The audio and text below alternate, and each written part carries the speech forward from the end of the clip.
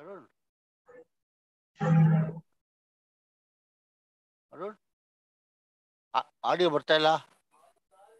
ಹಾ? Uh, time passed by, uh, a lot of complexities uh, started getting attached to this very concept of TDS. While every Finance Act made some of the other modifications, amendments to the existing provisions, and also brought in a couple of new provisions every single time, right?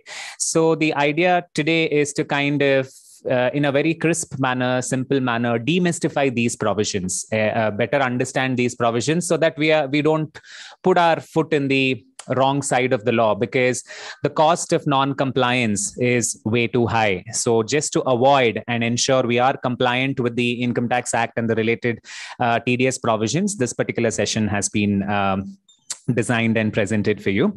So before I proceed further, uh, I request uh, our uh, Vice President of FKCCI, Ramesh Chandra Lahoti sir, uh, dynamic personality handling a lot of activities in our um, um, uh, chambers over here, uh, to kindly come forward and present his keynote to the audience.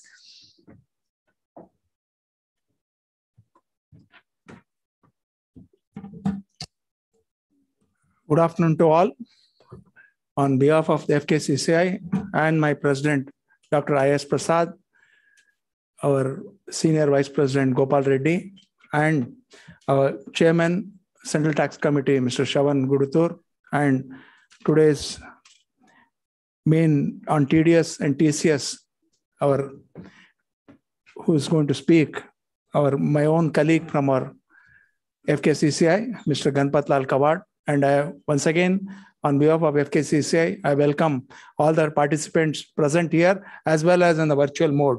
As you are aware, FKCCI is regularly holding under corporate and tax laws a lot of issues. Every month there is one or two meetings which can enlighten the industry and the trade and service so that what are the new laws which are coming so that we can adopt easily and where we can have the awareness. And I also welcome our managing committee member, Mr. Shankarappa, to this uh, session. And the nitty gritties, TCS, TDS, as is also for us as an office bearer, is a continuous purpose when we attend the meetings conducted by FKCCI from the corporate tax and income tax department, uh, our wing from FKCCI, to know because each you are aware every six months, one year, there are certain changes and amendments going to take place. To be in the tune with that, FKCCI is always there to enlighten the, those issues and to bring forward to all the industry, trade, and services. Once again, I welcome you all. Please have there be a fruitful session. Please do attend future programs also. And I welcome both of you, my colleagues. Thank you. Thank you. Thank you, Vice President uh, Ramesh Chandra Lahoti, for your uh, welcome address and uh, welcoming all of them participating uh, physically. I think we have about 20 of us participating physically, and we have 18 participants joining us uh, virtually today. Without further ado, let me take this uh, pleasurous task of introducing the session speaker. CA Ganpatlal Kawad, ladies and gentlemen, like I mentioned, is a chartered accountant by profession. He did his articleship at Hetzi Kinsha and Co., a very famous chartered accountant firm in Bangalore. He is a All India fourth rank holder in CS Inter. He has served as a managing committee member of ICAI Bangalore branch between the period 2000 and 2007. He has also served as the chairman of the Bangalore branch of ICI during the year 2006 and 7. Presently, as I mentioned, he is a director of FKCCI. He specializes in the field of income tax, uh, especially with that of various social and religious organizations. He has presented papers at various study circles and seminars conducted by Bangalore branch. With this introduction, I present the speaker to you, uh, ladies and gentlemen. Let me take this opportunity to also present him with a memento. I request uh, our Vice President to kindly do the honors.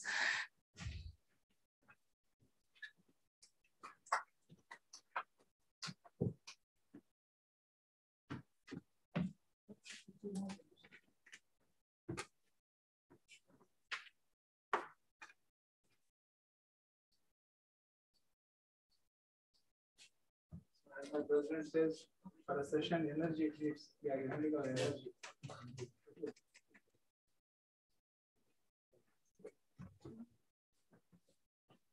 Friends, uh, towards the end of the session, a feedback form will be circulated to all of you. Uh, very important request. Uh, in the feedback form, please do mention what kind of programs do you want FKCCI to do. This will be very important for us to plan the future programs. Please do give your valuable suggestions. Over to Ganpat Lal Kawad. Thank you. I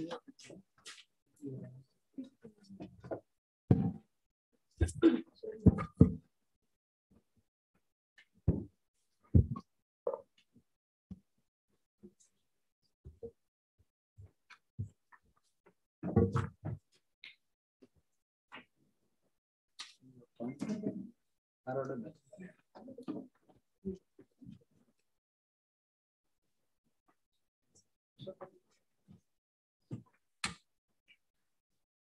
Good evening, ladies and gentlemen. Vice President of FKCCI, Shri Ramachandra Lahoti. The Chairman of the Central Taxes Committee, Mr. Shravan Guttur. Our own Managing Committee members, Mr. Shankarappa. Ladies and gentlemen. Once again, good evening to all of you. At the outset, I would like to thank FKCCI for giving me this opportunity to share some of my thoughts on the topic of TDS and TCS.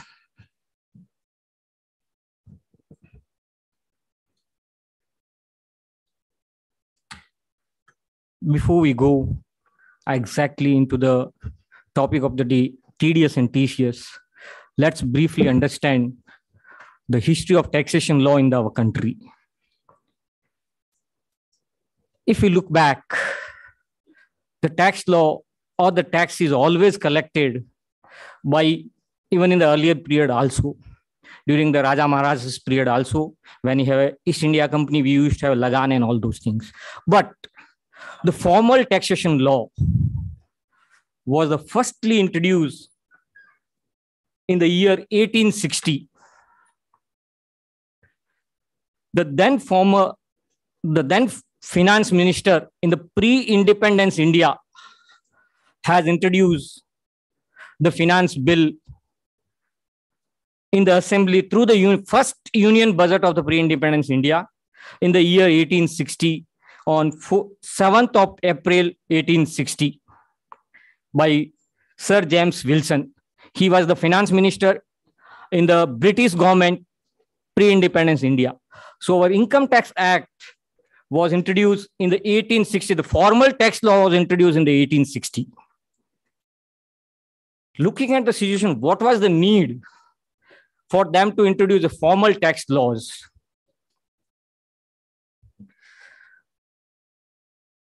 During the British period, in the year 1857, a rebellion has taken place. We are all will be heard about the Mangal Pandey. We have movie movie came in his name, Mangal Pandey. He was the person who has done the rebellion along with a lot of other army persons of the British Army itself in the year 1857. And the, then that government has suffered a huge loss on account of mili- that's called military mutiny. Because of that, they have suffered a huge loss. And the year 1880, sorry, year 1860, government has introduced the Income Tax Act. Further that, there is a lot of changes taken places. And if we look is it is necessary that everybody has to pay the tax? Is it a voluntary compliances or is it a compulsion?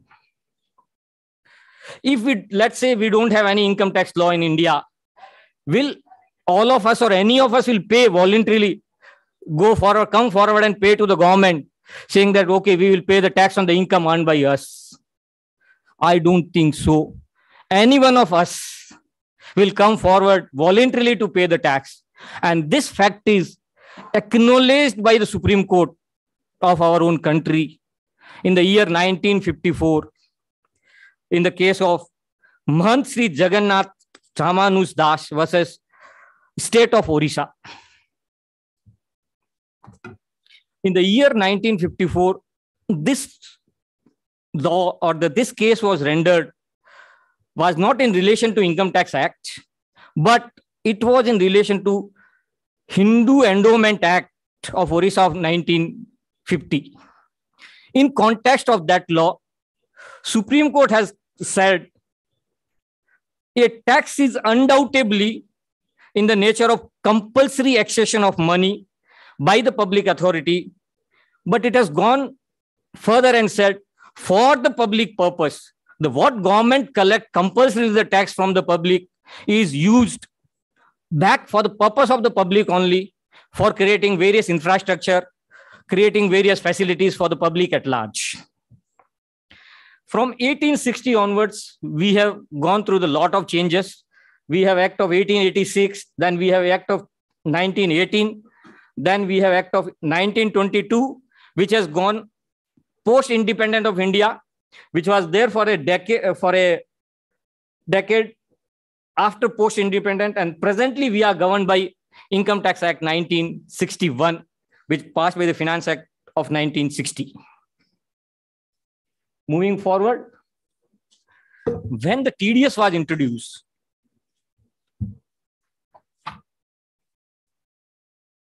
if we look back, we have this law coming from 1922 Act. That means almost a century old. So TDS, we have almost a century old. It is not new to the public at large, but year over year, there is lot of complication, lot of changes takes place in the TDS law. Every year, government do the changes. They will either bring new sections or do some changes. So every year there is a one or the other changes we will find in TDS laws. Now, as far as TCS is concerned, it was fair almost at 30 years old. There was no TCS concept. It was only tax deducted at source concept earlier which was a century old. But as far as tax collection at source is concerned, it was introduced by Finance Act 1988 with effect from 1688. Now, but look at the situation. Why we all have to have the TDS? The, what the Income Tax Act says is every assessee or the, every person who earns the income has to pay the tax. And there is enough mechanism for paying the taxes, self-assessment tax or the advance tax. Then why we need to have the TDS?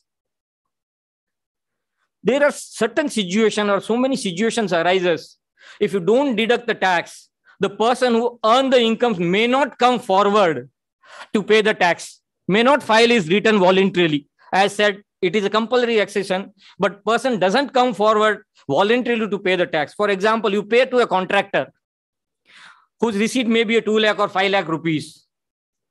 And if no tds is deducted he may not come forward to pay file the return itself. And that income may go tax free. So that is the whole reason government says no, we should recover the tax or we should collect the tax at source or the person who pays the income to the receiver should collect or the deduct the tax at the time of the payment itself. And today the situation is 58% of the total tax. A few days back, I was attending a seminar of the Bombay Chartered Accountant Society where department said the 58% of the total tax collected is recovered through the TDS and TCS. So more than 50% of the tax, direct taxes or income tax is collected by the government through the mode of TDS and TCS. So this is the history behind the tax laws and the TDS in our country. Going forward, we'll see the what are the basic under the TDS, and then we will move forward to the various issues. Now, in my presentation, there will be a little bit of the sections also will come into picture, whereas I'll try and tell as far as possible in a simple language where all of us can understand. The part B and BB of Chapter 17 of Income Tax Act provides for the deduction of the tax and collection of the tax at source. It starts from section 192 salary and end with section 206 double CA, where if a person doesn't have, don't file his return, then what is the law for the collection of the tax? It ranges almost, there are 50 sections, though it looks like 192 to 206, it is some 16 or 17 sections are there. But if you look inside, there's a A, B, C, D, 1, 2, 3, like that. It may be more than 50 sections are there through which the department recovers the taxes. Now, let's say if a assessee is liable to deduct the tax, then what he has to do at first and foremost, he need to obtain a TAN number.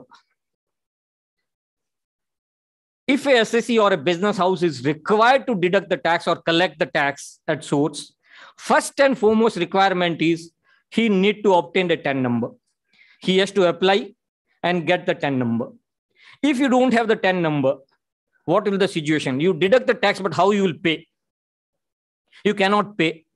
You cannot file the TDS return. And if you don't file the TDS return, person will not get the credit. So first and foremost is you need to obtain a TAN number. After obtaining a TAN number, wherever applies, wherever applicable, every assessee need to deduct tax at source or collect the tax at source. Every assessee means all the SSE except individual and HUF, unless and until the turnover of the individual or HUF in business crosses 1 crore rupees, or in profession it crosses 50 lakh rupees, then only they are required to deduct. Other than these two category, every other assessee has to deduct the TDS as per the required provision of the law. Once you deduct the TDS, the next things come is after deducting or collecting you need to remit the collected amount to the government within the prescribed time frame. So if you deduct in the current month, by the 7th of the next month, you need to pay the tax to the government, except for the month of the March, where you need to pay by the April end, month end. Otherwise, you have to pay the tax either deducted or collected by the 7th of the next month, deducted or collected in the previous month. after paying the tax to the government, let's say you have obtained the TAN number, you have deducted the tax or the collected the tax at source under various provisions of the law. After deducting, you have paid to the government. After payment, you need to file the TDS or the TCS statement. If you don't file the TDS and TCS statement, the person on whose behalf you have collected or you have deducted will not get the credit. So you need to file a TDS statement or TCS statement online. This is to be filed. TCS has to be filed within 15 days from the end of the quarter, and TDS statement is to be filed within one month from the end of the quarter, except for the month of March again, the year end, where you need to file by 15th of May and 31st of the May. TCS for 15th May, TDS by 31st May. Now, let's say while filing, you do certain mistakes. What are the option available? You can correct your TDS statement or your TCS statement. Once you have filed and later on you realize that there is an error has happened in the while filing the TDS statement or TCS statement, you need to download the file from the portal, department portal, and you have to refile it with the corrections.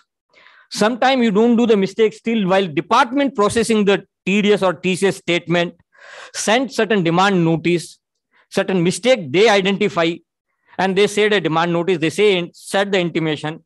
We have to look at the intimation, and if required, we need to file a correction statement.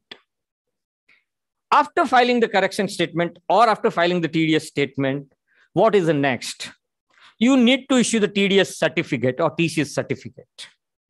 Though at present, whatever TDS is deducted and TCS is collected after filing TDS statement, the deducted or the collected amount appears in your 26 AS. But still, government requires, the department requires you to download the certificate and you have to issue the certificate. If you don't issue the certificate, there is a consequences for that. Though it is practically, it can be done away with it at present scenario because it appears in 26 AS. But still, the law at present is stand, we need to issue the TDS certificates. Now, after doing all those things, if you find any fault or if you fail in any of these, what we have seen now, obtaining TAN number or deduction, non-deduction, if you fail to deduct or after deducting, you fail to pay, after payment, you fail to file the TDS statement, then what are the consequences? There are a lot of consequences are attached to it and it ranges from the interest to the range of the prosecution. the department is very serious about the TDS uh, compliances of TDS provisions. The first consequences is there is an interest for the late deduction. Let's say in the last month, in the month of April 22, 22, you are supposed to deduct the TDS on certain credit. A contract bill has came for 2 lakh rupees, for which you pass a journal entry. So on that, you need to deduct the TDS because TDS need to be deducted at the time of the credit or at the time of payment, whichever earlier.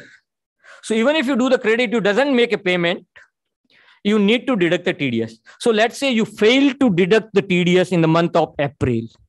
Then till the date from the month of April till you make the deduction, you need to calculate interest for the late deduction at the rate of 1%. Now, what next? Let's say you deducted in the month of April, but you are failed to pay by the 7th of May. So there is a interest on the late payment. The interest for the late payment is at one and a half percent per month or for the part of the month. Now, this we have to be very careful, even if there is a delay of the one day. I repeat, even if there is a delay of the one day, you are liable to pay interest for the two months. Let's say you deducted TDS in the month of April. You have time up to payment of the 7th May. If you don't pay by the 7th May, you pay on 8th May. You are liable for the interest for the month of two, two months at the rate one and a half percent that become three percent. So you have to be very careful about the payment because the interest rate is very high at one and a half percent, and that too for two months. It says month or part of the month. So it doesn't calculate 30 days from the date of the deduction. It calculates in the which month you have deducted and by which date you are supposed to pay. As these two falls in two different months, you will liable to pay interest for the two months. Now, if you don't file the TDS, let's say you deducted on time, you paid on time, but you fail to file the TDS statement, then what happens? There is a late filing fees. Even if you are delayed by a day, there is a 200 rupees fees per day. And this we are supposed to pay before filing the TDS statement. If you don't pay, then department will send an intimation asking you to pay along with the interest on that also.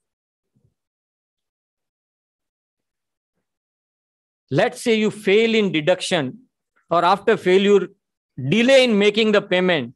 The next major consequences is disallowance of the expenses itself. Now we have a TDS on the purchases now, which is 0.1% of the purchase amount. If you have purchase of a 1 crore rupee, the TDS you are required to deduct at 0.1% is 1000 rupees. Correct? 10,000 rupees. Sorry. 10,000 rupees. So 1 crore of the purchase, we are supposed to deduct the TDS at the rate of 0.1%, 10,000 rupees. Let's say we fail to deduct that the consequences is and 30% of the expenses your 30% of your purchase will get disallowed and you will be liable to pay tax on that if you fail to deduct or after deducting fail to pay by the due date of the filing of the return here is a little extra time is given along with the interest if you pay by the due date of filing of return there will be no disallowances but if you don't pay by the due date of filing of the return the 30% of the expenses will get disallowed. So in the example what I have taken, if you don't deduct on the 1 crore, 30 lakh of the purchases will be disallowed. And on that, you will be liable to pay the tax along with the interest on tax because you wouldn't have calculated advance tax on that. So you'll have to liable to pay interest on that also.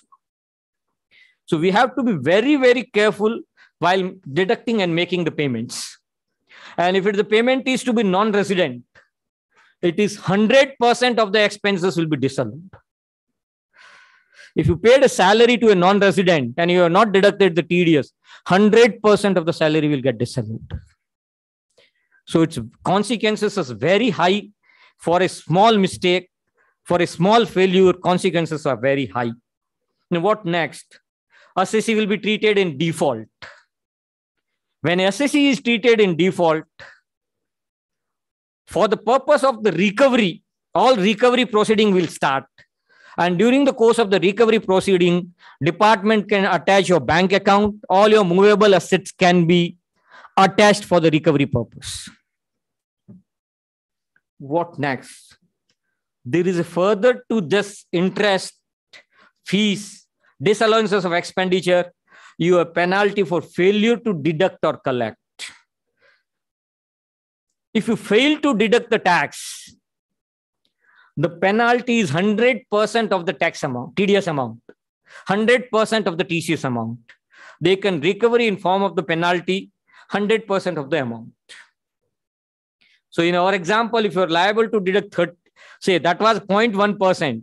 If you take the payment made to your professional fees, where if the 1 crore you are liable to deduct 10 lakh rupees at the rate of 10%, the department can levy a penalty of 10 lakh rupees for the non-deduction of the tax. The next come penalty for failure to furnish the information. If you fail to furnish the required information, or if you fail to furnish the correct information, if you give a wrong information, some places, though there is no requirement to deduct the TDS, still you need to file the information with the department. And if you fail to file the information, the penalty ranges from 10,000 rupees to 1 lakh rupees. Sorry. And if it is related to non-resident payment, penalty is minimum 1 lakh rupees. It's a state away penalty is 1 lakh rupees. So under 195.6, we need to give certain information to the department. Whatever payment we make to the non-resident. If you don't give that information, or if you fail to furnish those informations, the penalty is 1 lakh rupees. The next come is the prosecutions. Now, after deducting the tax or after collecting the tax, if you fail to pay to the government, department can launch a prosecution against the department is very serious. Till couple of year back we didn't see any prosecution proceeding by the department. But of late last couple of years we see lot of penalty was already there. They were initiating penalty proceeding but of late they've started initiating the prosecution proceeding also and as far as the prosecution is concerned it is a minimum three rigorous imprisonment of minimum three months go up to seven years along with the fine, both in case of TDS and TCS. So these are the consequences. Though it looks simple, but the consequences are very high. So please, please be careful while your application of the TDS and TCS law is concerned. Moving forward in basic, in certain scenario, we can apply to the officer to get a nil or low deduction TDS certificates. So whenever we get or whenever our pay, the person who has to receive the money from a businessman or from the assessee gives a certificate saying that, look here, I got a certificate from the department which says instead of 10% on professional fees or on rent, instead of deducting 10%, you deducted 2%.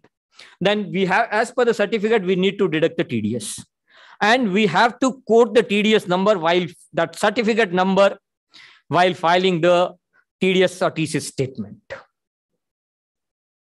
In certain situation, the person who has to receive can issue a declaration form saying that my income is not taxable.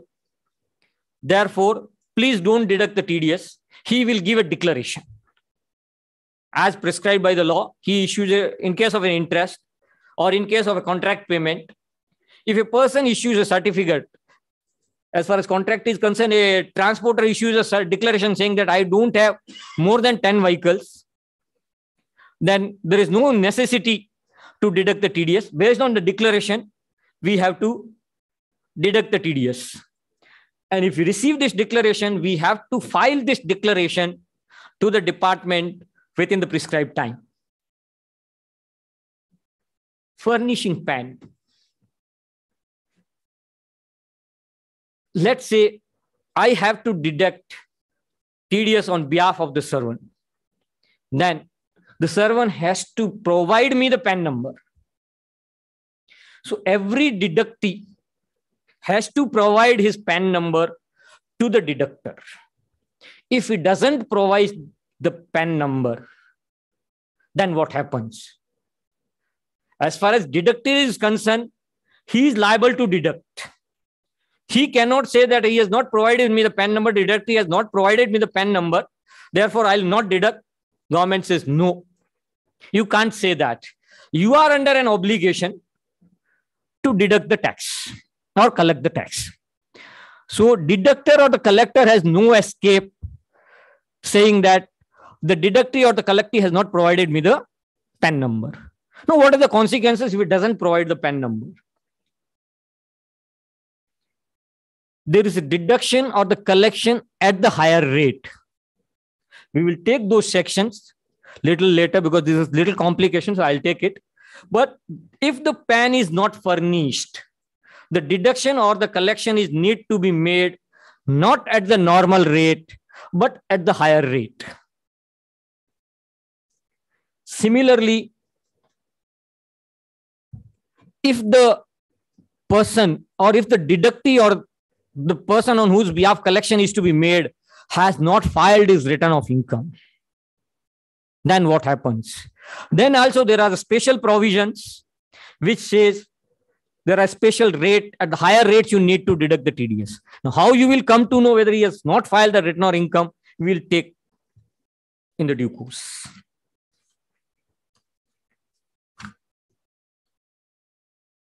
TRC. Hope you are aware what TRC is. It is something called tax residency certificates whenever you need to make a payment to non-resident you need to deduct if it is a income is taxable in india you need to deduct the tax while making payment to the non-resident also.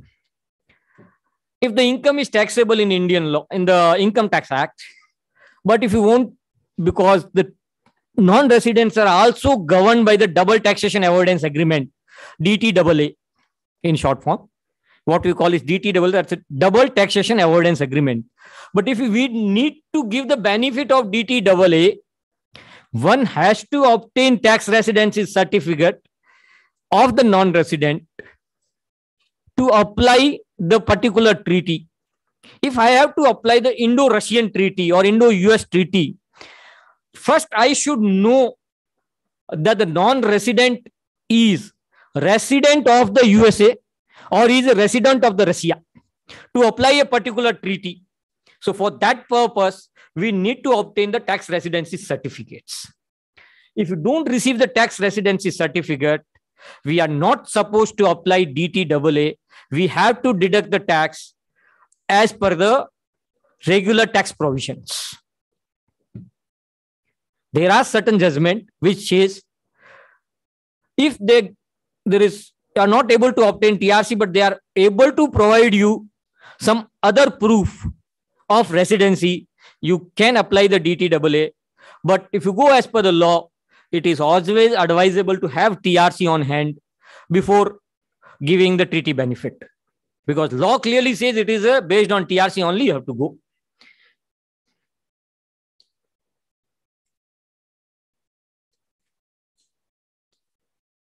Little ago we have seen if a person doesn't furnish the PAN number, we are supposed to deduct the TDS at the higher rate. What, what rate we are supposed to deduct? It says either at the rate specified in the relevant provision of the Act, if the section provide a particular rate at that rate, or at the rate in force. So for the certain deduction, rate is not provided in the section, but as rate is provided in the Finance Act every year's Finance Act provide rate of the TDS in the Finance Act. So if the rate is not given in the provision, we have to take the rate as per the Finance Act or at the rate of 20%, whichever is higher. So the minimum rate will become the 20% if the PAN number is not given. If the deductee doesn't give the PAN number, TDS has to be deducted at the rate of 20%. That is the minimum rate. It can go beyond 20% if the section or the rate provides more than 20%. What are the next consequences? If a person doesn't give the PAN number, whatever declaration he gives to us for non-deduction of the tax, as I said in case of a transporter, if you provide us a declaration, but if it doesn't provide the PAN number in the declaration, that declaration become an invalid declaration. The deductor cannot take that declaration into consideration and he has to deduct the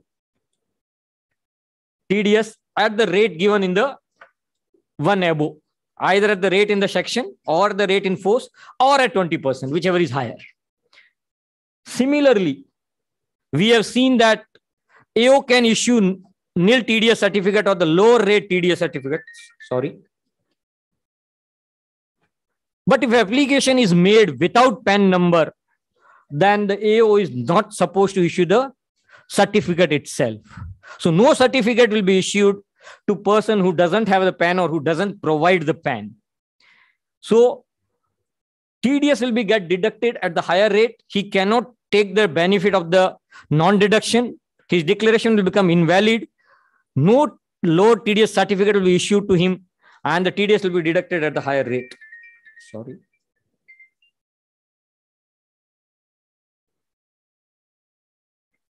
This is as far as TDS is concerned. Now, if you look at TCS, we have the similar provision in the TCS also.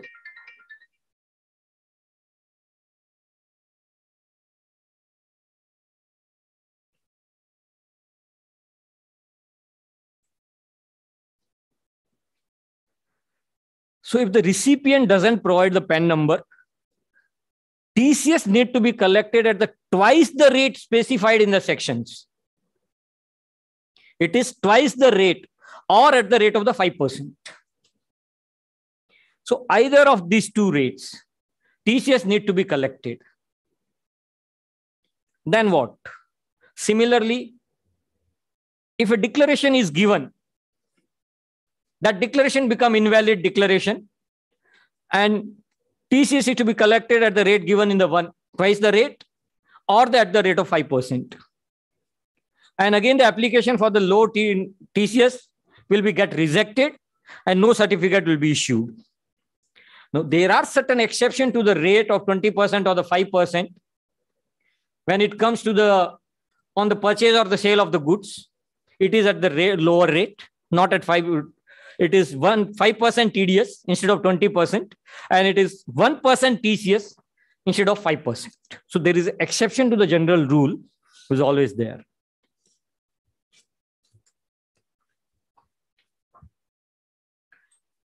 Now, what happens if the person doesn't file his return? The last year, the Finance Act 2021 introduce a new law in the statute book saying that if the assessee doesn't file the return of income, it was earlier two years, which in the Finance Act 2022, they have reduced it to one year. So for both for TDS and TCS, it says the person doesn't file the TDS, his income tax return then the deductor has to deduct the tax at the rate of twice the rate as per the section or 5% whichever is the higher.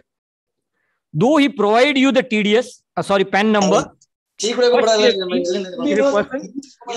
Provide PAN number.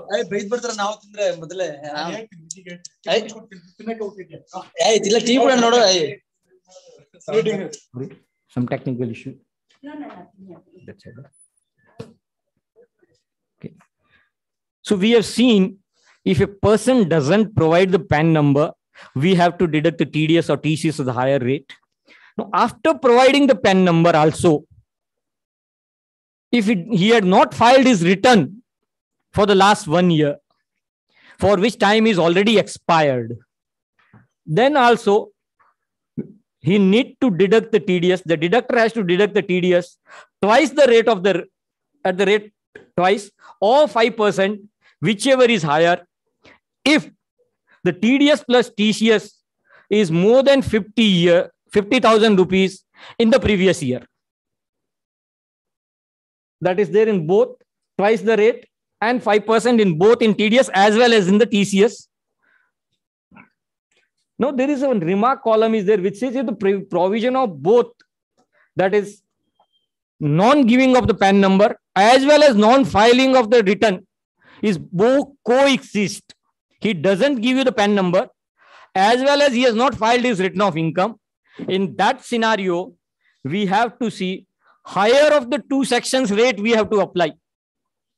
So it says twice the rate of the 5%. But if you're required to deduct 20%, if it doesn't give the PAN number, you have to deduct at the 20%. No, not at 5%.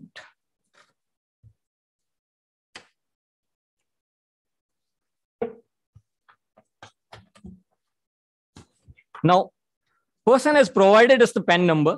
How we will come to know whether that person has filed his return of income or not.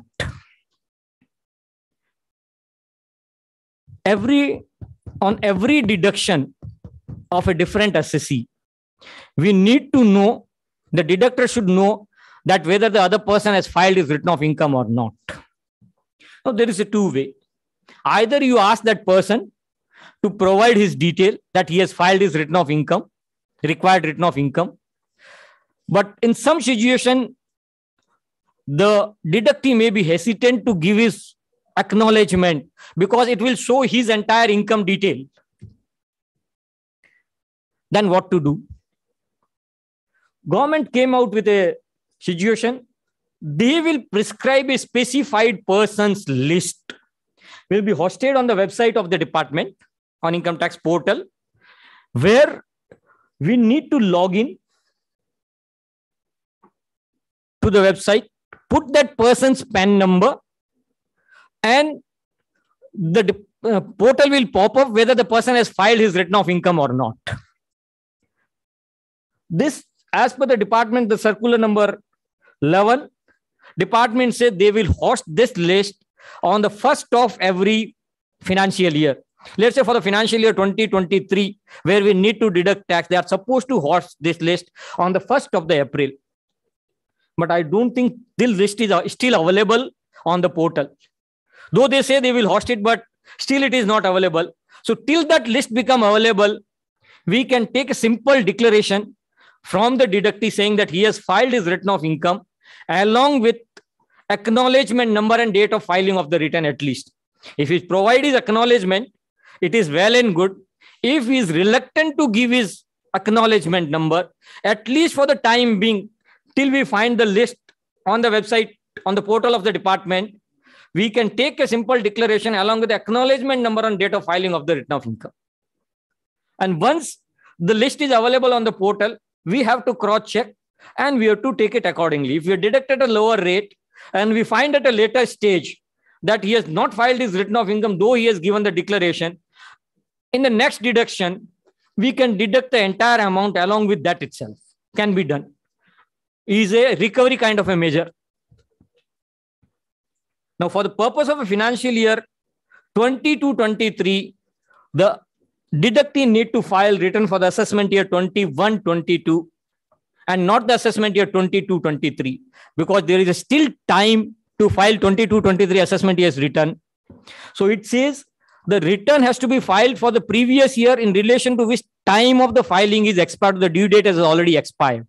So due date for the assessment year 21 22 is already expired. The last days, in spite of the extension, it was 15 January, 31st December, 15 January, 15 February. And to file a belated return, it was 31st March.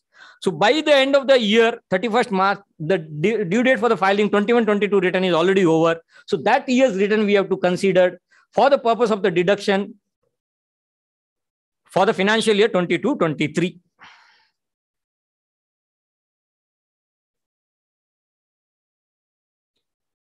These were the basic things what you need to take care while applying the TDS or the TCS provision as far as compliances is concerned. If you fail in any of the compliances, you have seen the consequences. The consequences are very high. It ranges from the, as I said, it ranges from the interest and it goes up to the prosecution with the free lodging and boarding up to maximum up to seven years. So the provisions, non-compliances is very dangerous. And department is very proactive for the compliances of the TDS provision. As I said, 58% of the revenue comes from the TDS and TCS. So every year we see one new sections get added to the TDS and TCS provisions. What are the issues? We'll take issues. In between issues, we will discuss the new sections also, which is the burning issues today. So we'll take that. The first issue, if you see, if a person doesn't provide his or her PAN, is it necessary to find out whether he or she had filed his or her return of income for the assessment year relevant to the previous year, immediately preceding the financial year for which the time limit for furnishing the return of income is expired? We have seen two sections. If it doesn't provide, he's supposed to provide the PAN. If it doesn't provide the PAN number, there is a separate penalty for non-providing. If it doesn't provide, there is a two situation where you have to deduct at the higher rate and then you have to see whether he has filed his return of income also. Even if he provides the PAN, the rate of are different. Now, if he doesn't provide you the PAN number itself, because we have seen section these two sections overlap each other, saying that if both are applicable together, then what we need to do. So if a person doesn't provide you the PAN number, take for example, for making TDS and TCS in financial year 2023, whether one need to find out that return of income for assessment year 21-22 is filed or not when PAN is not provided, when permanent account number itself is not given to you. Is it necessary? We have to see that whether he has filed his return of income or not.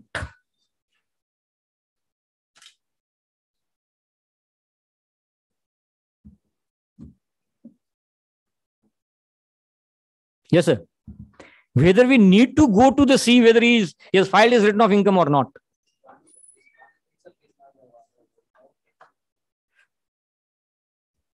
So that is exactly the I want to draw the attention to that remark that if the both the sections are applicable together, we have to take the which is more favorable to the department. But how we will find it out? If PAN is provided, then only we will be able to find it out whether he has filed his return of income or not. If I doesn't have the PAN number of yours, how I will find it out from you or how uh, from the portal whether you filed your return of income or not. So in my opinion, if he doesn't provide his PAN number, we don't have to go to the second situation. We don't have to see whether he has filed his return of income or not. We have to apply non-PAN rate straight away, either the rate given in the sections or in written force or 20% if TDS or five twice the rate or 5% in case of TCS. Then file the return accordingly. Next. Issue number two. Can there be a situation where in a single financial year, both TDS and TCS provisions are applicable for the purchase and sales of the goods to the same buyer and seller. I'll read it again. Can there be a situation where in a single financial year, both TDS and TCS provisions are applicable for purchase and sale of goods to the same buyer and seller? For example, S sell goods to B buyer in financial year 22-23, can there be a situation where S has to collect the tax, that the seller has to collect the tax, and B has to deduct the tax in the same financial year? Can there be this kind of a situation?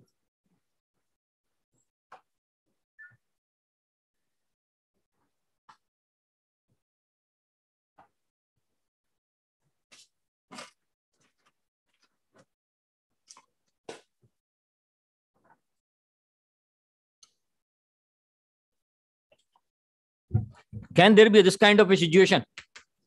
Is it possible? Yes. Okay. Says yes. How? We are supposed to deduct the TDS on purchase of the goods. Once you deduct the TDS, TCS there is no requirement. Then what could be the situation where both will become applicable in the same financial year within the same buyer and seller? Between the different buyer and seller, yes, that possibility is there. With the same set of buyer and seller, I sell goods to him and he buys from me. He has to deduct the tax and I have to collect.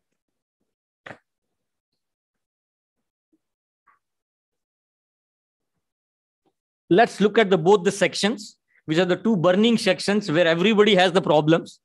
What the law says.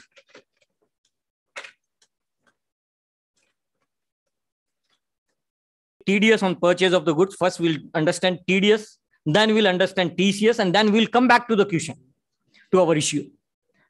Any person being a buyer who is responsible for paying any sum to any resident for purchase of any goods of the value or aggregate of such value exceeding 50 lakh rupees in any previous year, sell at the time of the credit of such sum to the account of the seller or at the time of the payment thereof by any mode, whichever is earlier, deduct an amount equal to 0.1% of such sum exceeding 50 lakh rupees as income tax.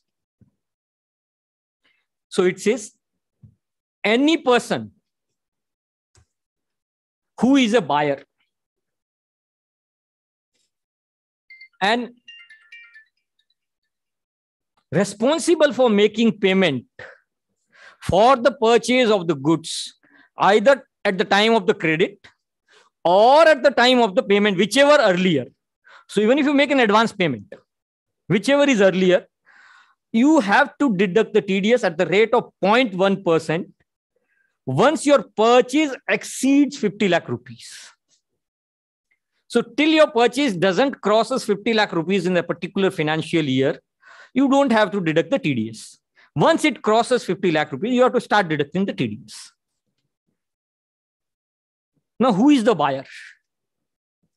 It says buyer means a person whose total sales, gross receipt, or turnover from the business carried on by him exceeds 10 crore rupees during the financial year immediately preceding the financial year in which purchase of goods is carried out. So, for the purpose of the deducting TDS, you have to see whether in the previous financial year, let's say for the financial year 22 23, you have to see the financial year 21 22, whether your gross receipt, your turnover in the business has crossed 10 crore rupees. If yes, you become the buyer for the purpose of deducting the TDS. So, first test you have to apply whether the TDS law is applicable to you or not. As a buyer, whether a TDS law is applicable to you. Let's see from the table. It is under section 194Q, every buyer whose turnover in the previous financial year exceeds rupees 10 crore. So, to become the law to become applicable to a buyer, he should have crossed his turnover in the previous financial year 10 crore rupees. From whom it has to be deducted? It has to be deducted from the seller of the goods. On what amount? On purchase of the goods or on payment for purchase of the goods above 50 lakh rupees. So if your purchase doesn't cross us 50 lakh rupees or your payment, if you're making an advance payment for the purchase of the good doesn't cross 50 lakh rupees, there is no necessity to deduct the TDS. The moment you reach 50 lakh rupees, beyond 50 lakh, you have to deduct the TDS. This law become applicable in the previous financial year from 1st July 2021 at the rate of 1%, 0.1% you need to deduct. And if the PAN number is not provided, it says Aadhaar also. If he doesn't have a PAN and he provide you the Aadhaar also, you can consider Aadhaar also. If nothing is given, you have to deduct the TDS at the rate of the 1%. After deducting, you have to pay. And then last thing, you have to file the, your TDS return.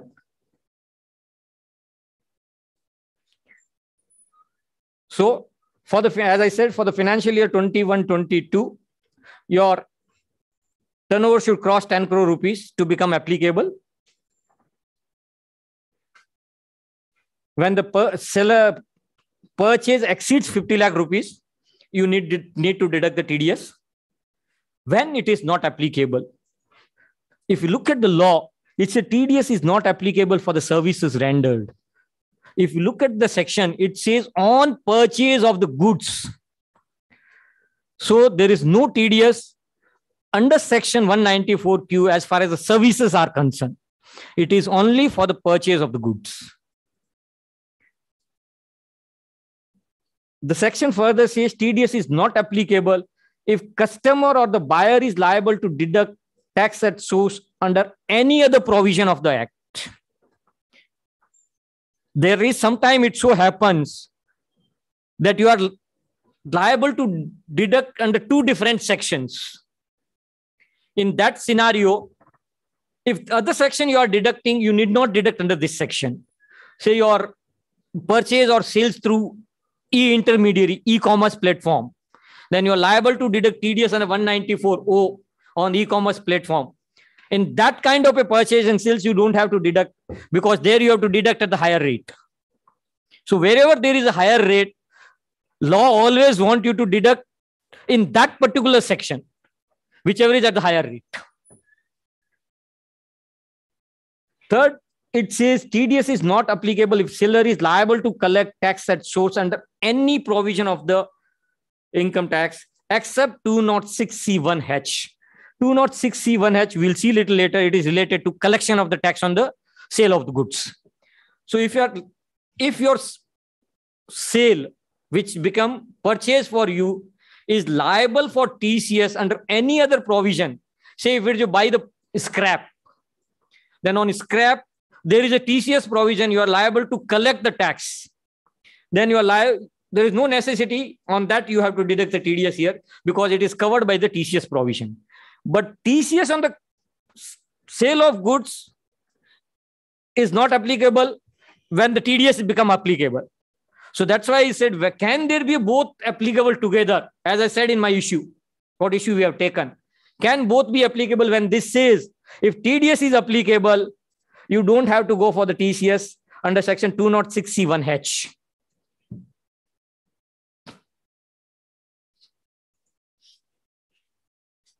This, this was as far as TDS on purchase of goods is concerned. Let's see the provision of TCS on sale of goods also.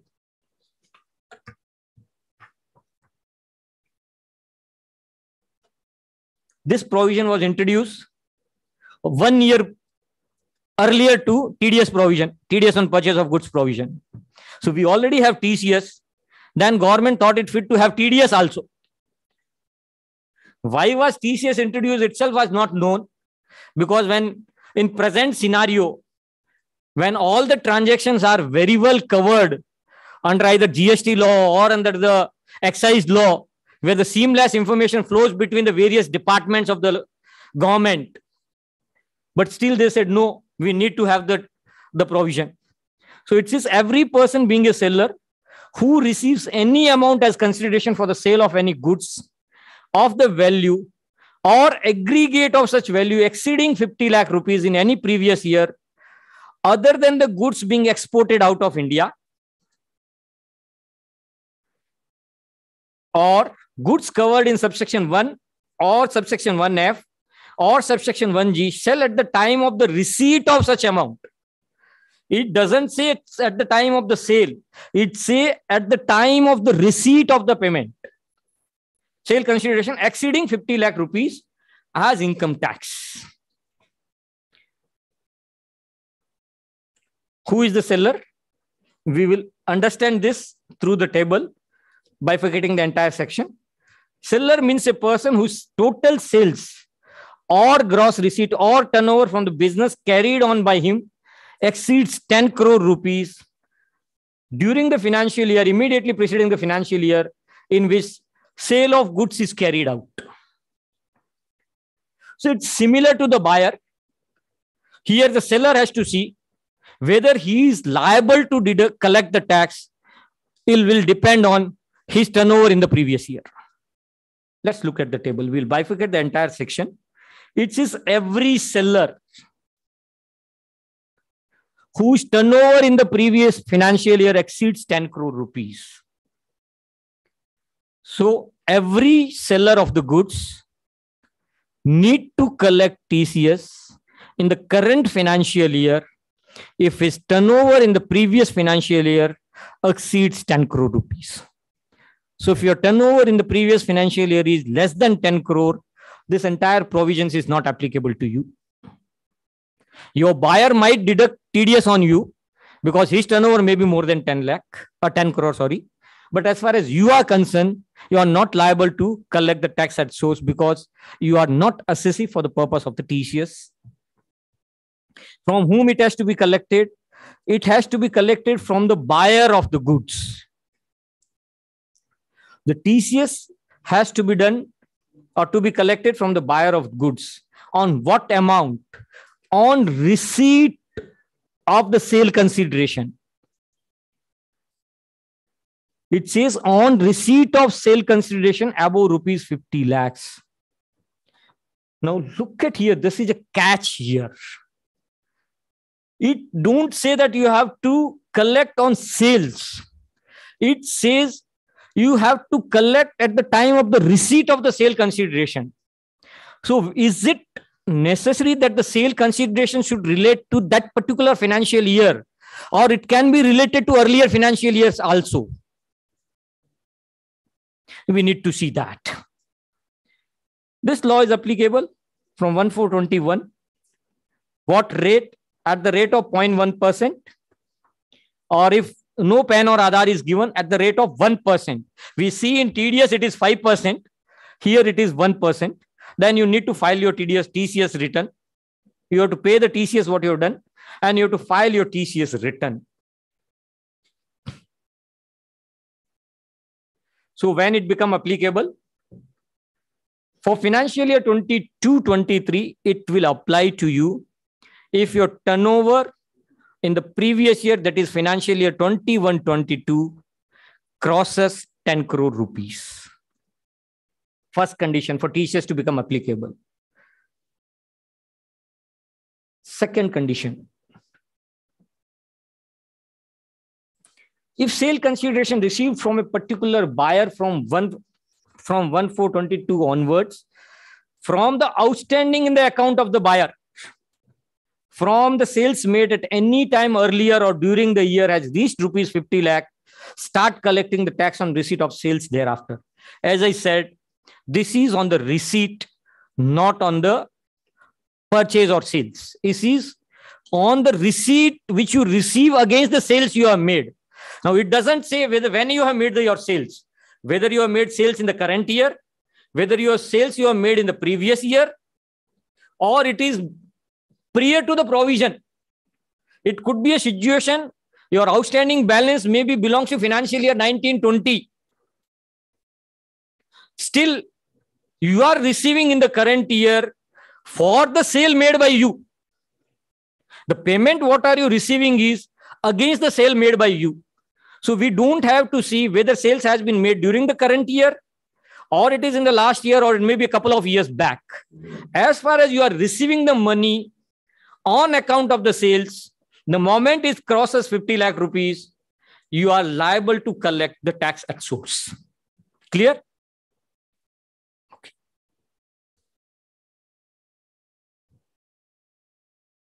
Oh, sorry. TCS should not be included as part of the invoice as it is to be collected only at the time of the receipt. This is very important to note because if you see the initial portion of the section, on every receipt, once it crosses 50 lakh, you are supposed to collect on the receipt basis, not on sale basis.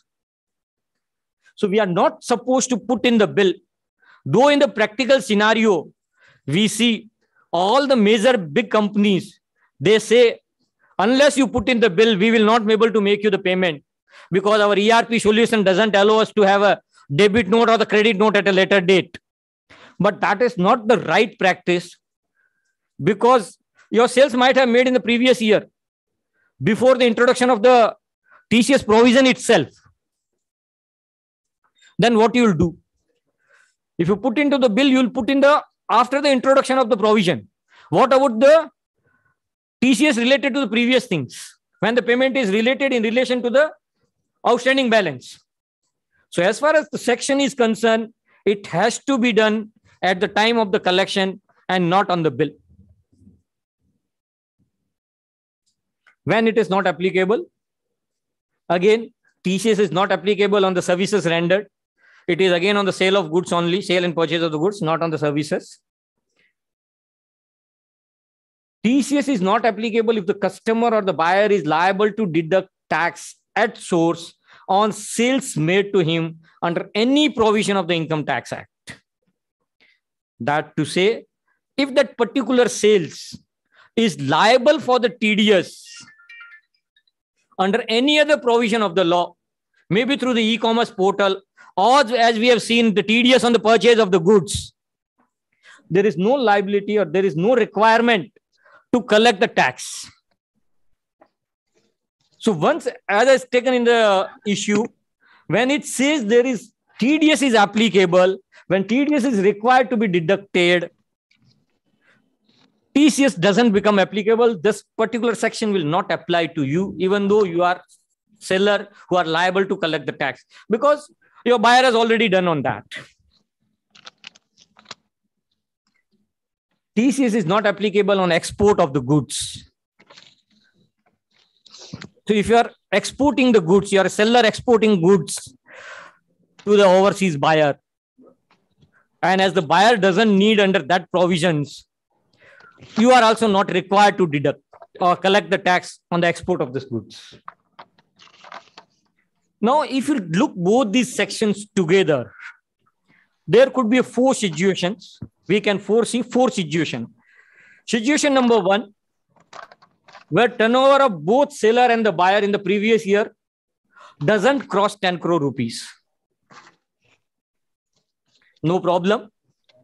Neither buyer nor seller has to apply the provision of the deduction or the collection because both are not qualified for the deduction purpose or collection purpose because their turnover are less than the 10 crore rupees. Situation number two, turnover of the seller is above rupees turnover 10 crore and turnover of the buyer is rupee less than rupees 10 crore or less in the previous financial year, then TCS will apply. TDS will not apply because buyer is not qualified. His turnover is less than 10 crore.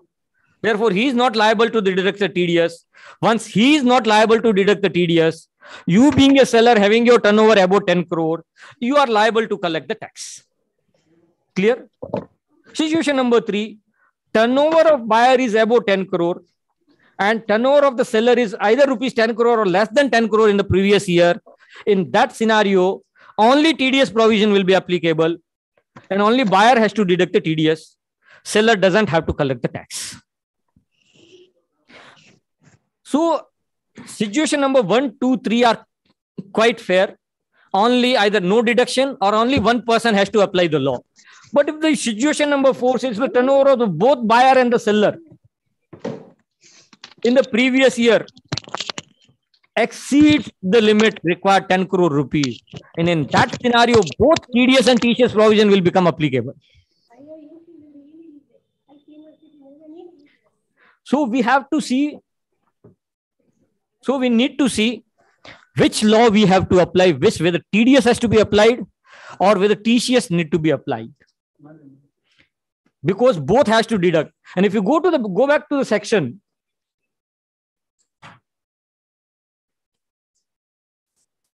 It's not going back.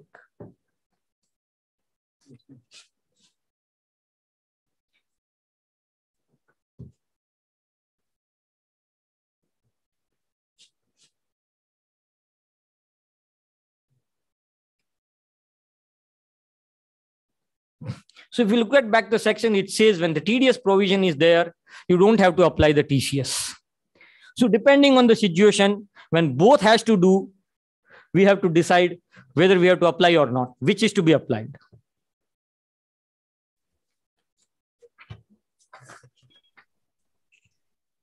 Now we will go back to our issues.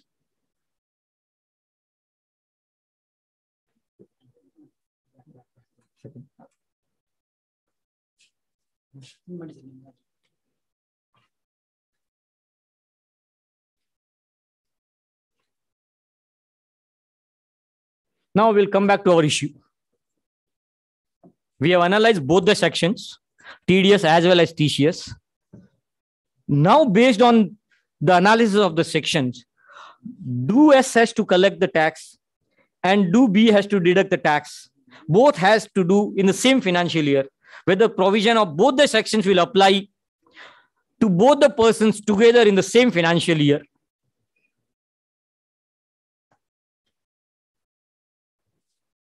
If yes, why and in what circumstances? If no, why not?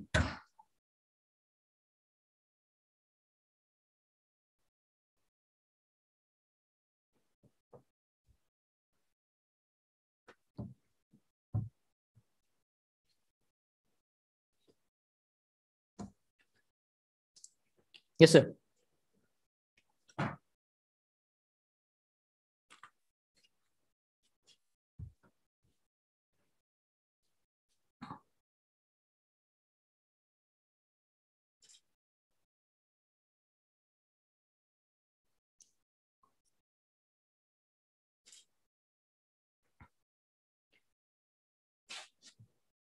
So is S is liable to collect the tax?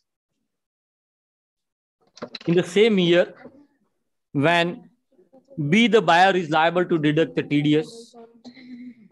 TDS. So if we see the provisions of TCS provision we have seen, it says if the TDS law is applicable, there is no requirement to collect the tax.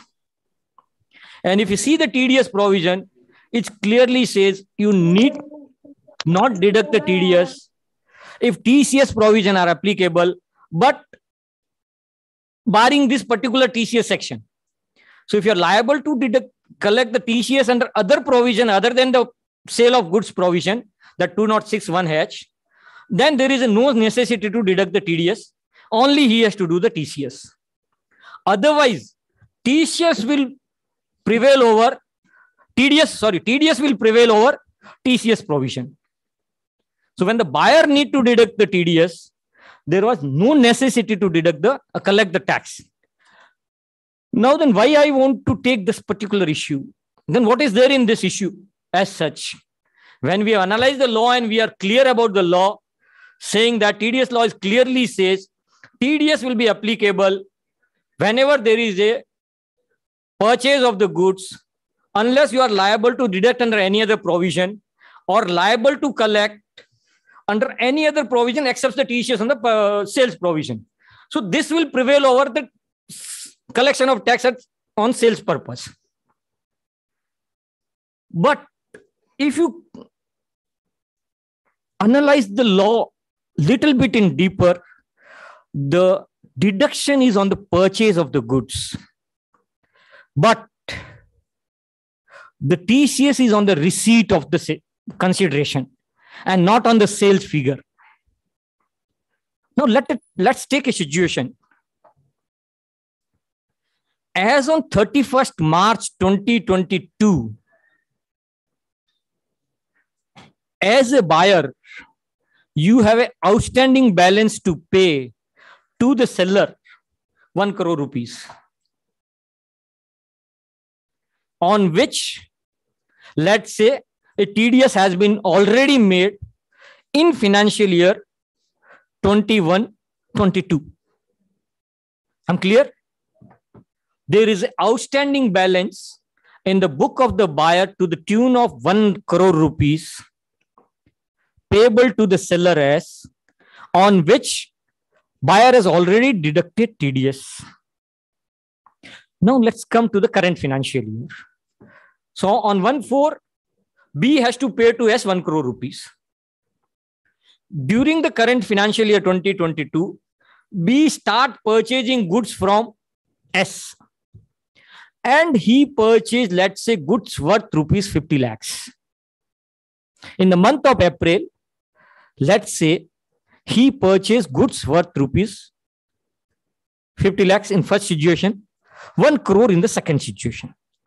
So do B has to deduct the tax on first 50 lakh of the purchase as per the 194Q as per the TDS law. Do he need to deduct the TDS? So on first 50 lakh of the purchase, B is not required to deduct the TDS. And accordingly, he doesn't deduct the TDS. It is a year to, in every financial year, you have to see the threshold limit of 50 lakhs. It is year to year basis. So in the financial year 2022, when B purchases goods from S, till the- his purchase reaches to the tune of 50 lakh rupees, he doesn't, let's say he doesn't deduct the TDS. Beyond 50 lakhs, he start deducting TDS. So as far as B is concerned, he complied the provision in the financial year 2022, 22-23. Up to 50 lakhs, he has not deducted TDS. Beyond 50 lakhs, he started deducting TDS and started making payment, filing, return, etc., etc., etc. He comply with all the provisions. Now come to the S point of view. This we have seen from the B point of view. Now let's analyze from the S point of view. Similarly, as B has to pay to the S 1 crore rupees as on 1 4 21, 22, sorry, S has to receive 1 crore from B as on 1 4 2022. Plus B has S has sold 50 lakh worth of goods to a B on which B has not deducted the TDS. Now let's see. S received the money 1 crore opening balance plus 50 lakh rupees towards the sales made during the current financial year on which no TDS has been deducted by the buyer or that purchase sales doesn't suffer the TDS. When you see from the S point of view, during the current financial year, he received 1.5 crore. So first things, he crosses a threshold of 50 lakh rupees of the collection during the financial year. On first 1 crore rupees, there was no necessity to collect because the first 1 crore rupees which was outstanding as on 1 4 2022 is already suffered TDS in the previous financial year. So as it has already suffered the TDS in the previous financial year, there was no necessity for him to collect the tax on that. But the next 50 lakhs, what he receives, which doesn't suffers the TDS in the hand of the B because it is the initial purchase of 50 lakhs in the financial year 2022 because he doesn't deduct the TDS. But as far as S is concerned, he has received one and a half crore. And that 50 lakhs has not suffered the TDS. Therefore, he is liable to collect tax on that 50 lakh rupees. The moment he received next payment beyond 50 lakhs of the sales of the current year, which has already suffered TDS by in the hand of the buyer, he don't have to collect the tax again. But the intermediary that 50 lakhs sales of the current financial year, which is coming, receipt comes along with the previous year's payment, he need to collect the tax on that 50 lakhs rupees. Now look at a scenario. All we started raising TCS in the bill.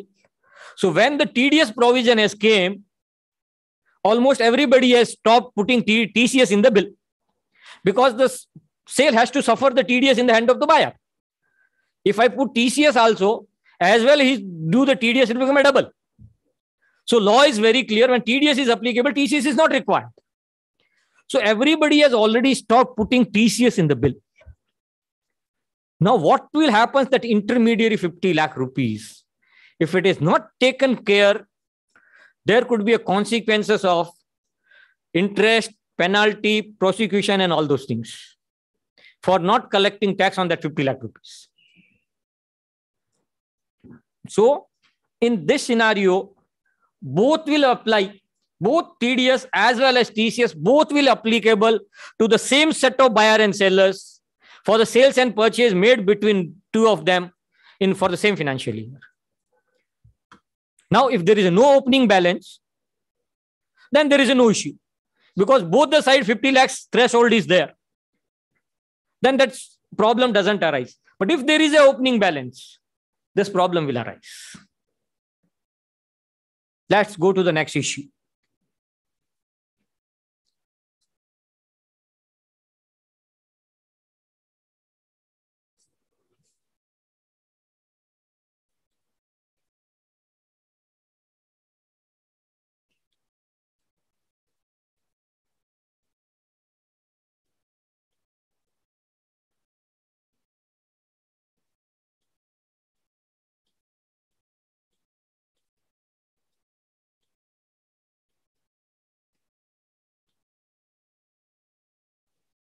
Issue number three It's a very small issue, but it is a very high relevance. Can every benefit of the perquisite qualifies for the deduction of tax under section 194R?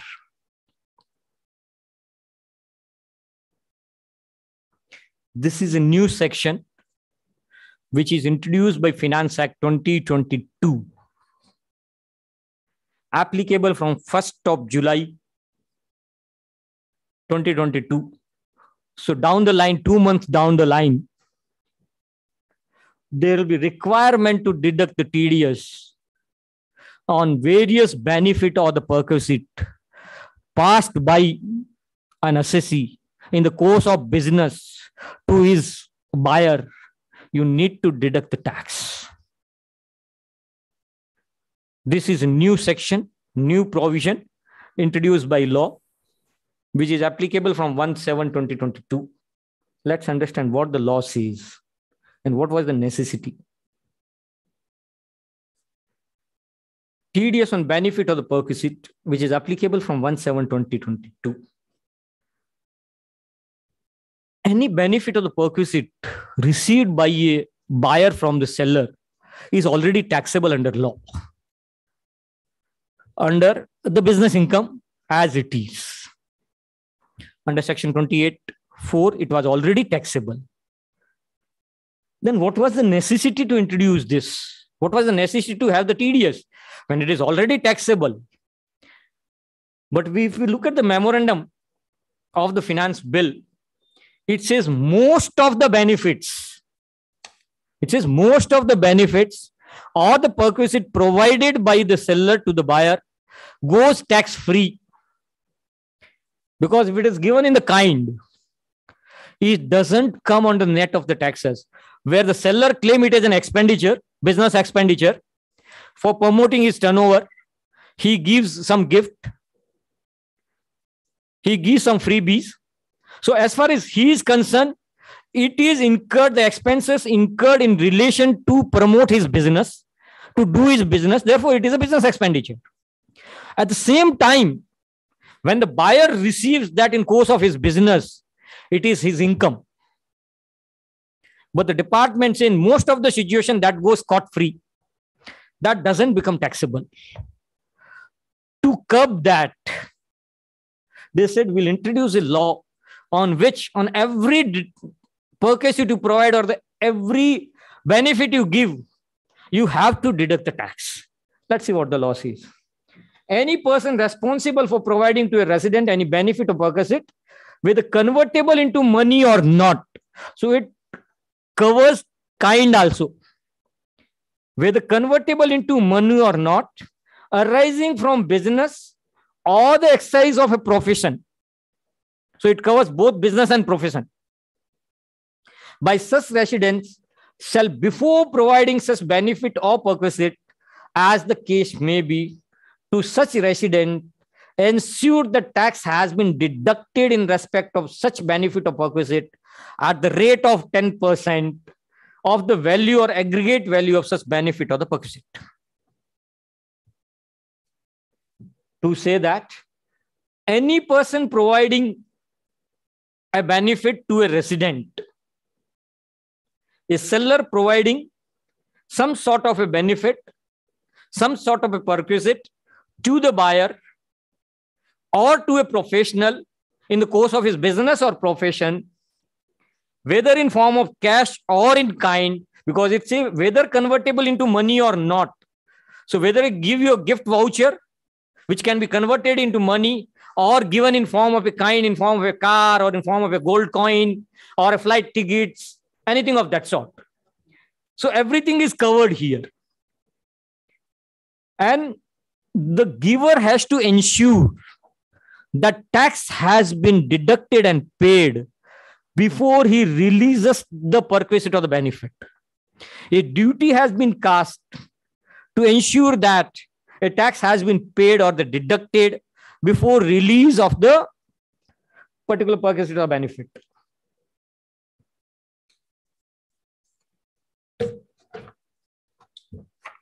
Provided that in case where the benefit of perquisite, as the case may be, is wholly in kind or partly in kind, and partly in kind, sorry, and partly in cash and partly in kind, but such part of cash is not sufficient to meet the liability of deduction of tax in respect of whole of such benefit or perquisite, the person responsible for providing such benefit or perquisite shall, before releasing the benefit or perquisite, ensure that required the tax required to be deducted has been paid in respect of such benefit or perquisite.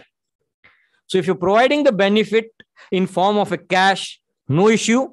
You deduct that much amount at the rate of the 10% or you release only 90%. But you give something in form of a kind, wholly in kind, the entire amount you given in form of a car or a gold coin has been given. So there is no cash involvement.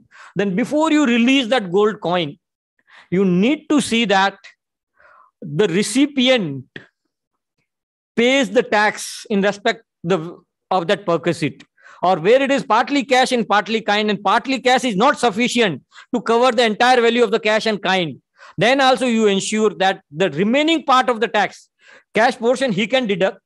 Remaining portion has been paid by the recipient before he releases that.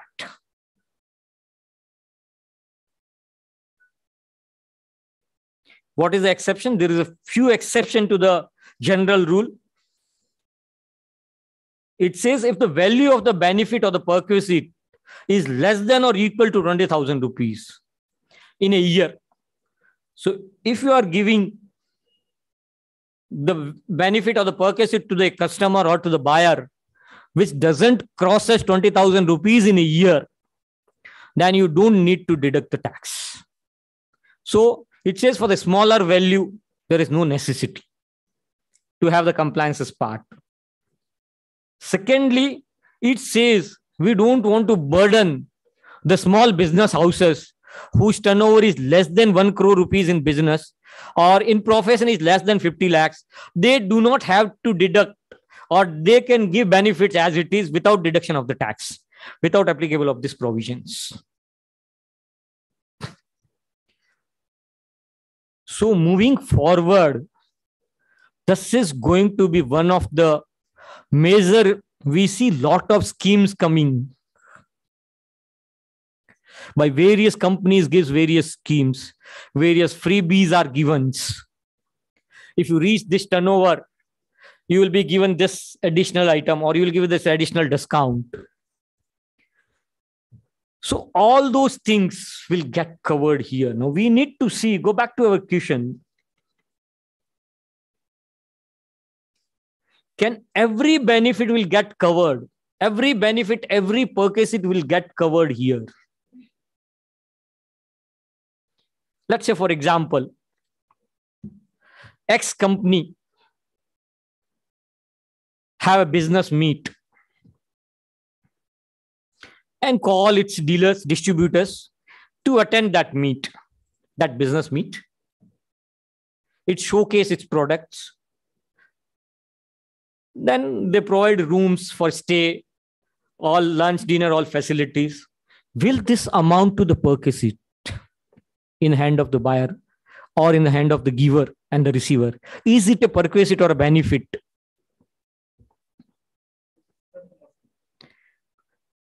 Everything whatever you give it will be in form of a business promotion only but we have we need to distinguish various business promotions now. Let's add something more. He do his business meet in Dubai. Instead of Mumbai, he do it in Dubai. And he say, comes, you come along with your family. Will this amount to benefit? At first stage, let's say in Mumbai or Dubai, it is purely for the purpose of showcasing its product. He have a business meet. Dealer alone goes, he invite only dealer or distributor to ca- showcase his product, to make them understand his product. Thereby they can distribute or they can sell his product. Will this amount to benefit given to the buyer? Is it a benefit? As I second the second situation, adding to that, along with the dealer, you invite the dealer along with his family. Will that amounts to the benefit?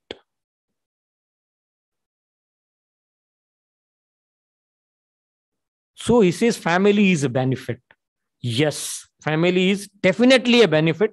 No doubt about it. Because you are getting a benefit out of it. Why you are going is because he's showcasing his product, he's going to explain you something. But as far as your family is concerned, they have nothing to do with it.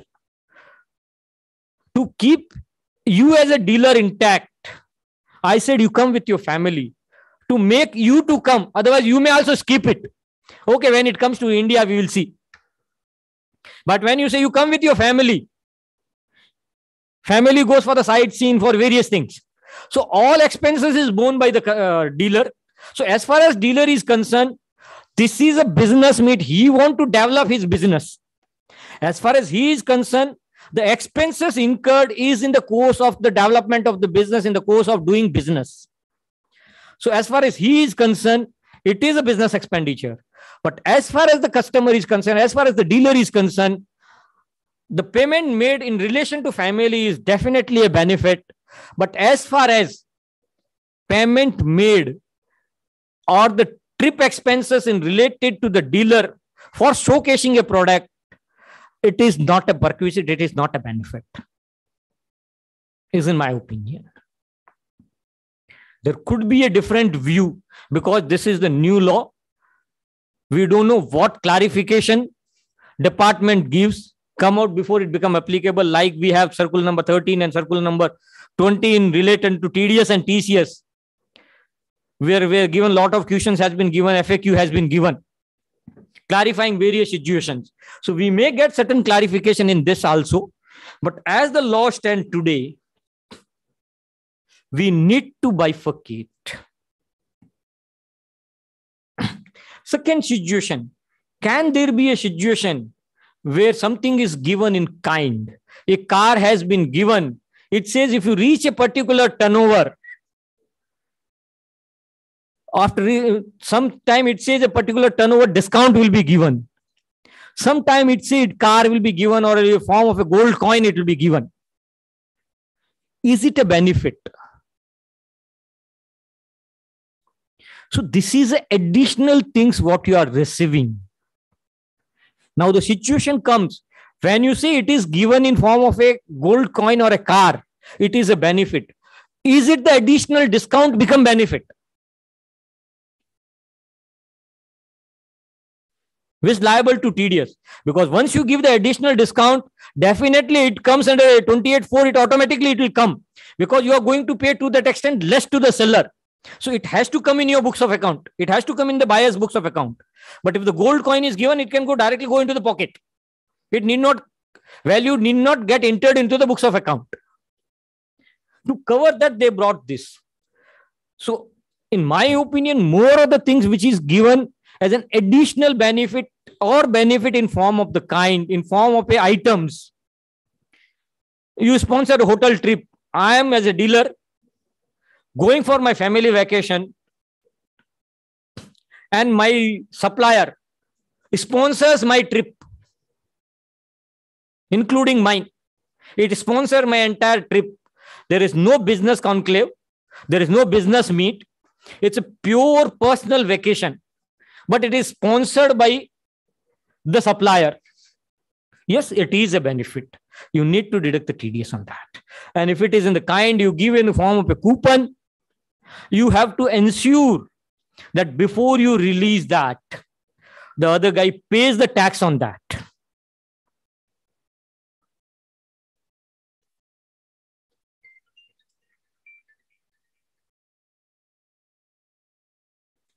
Read.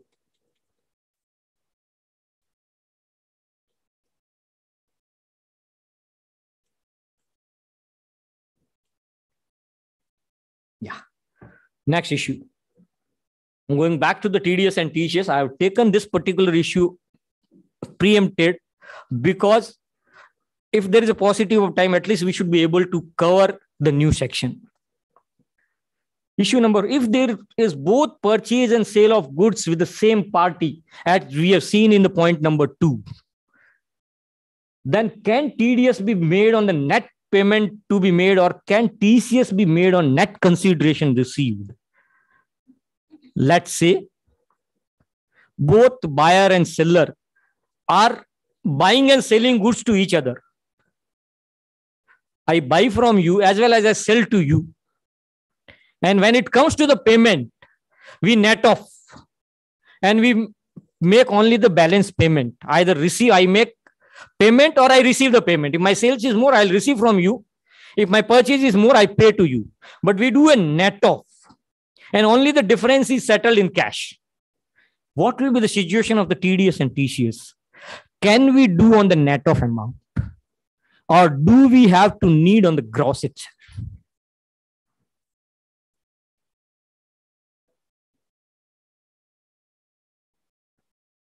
TCS net of business. Is any other view?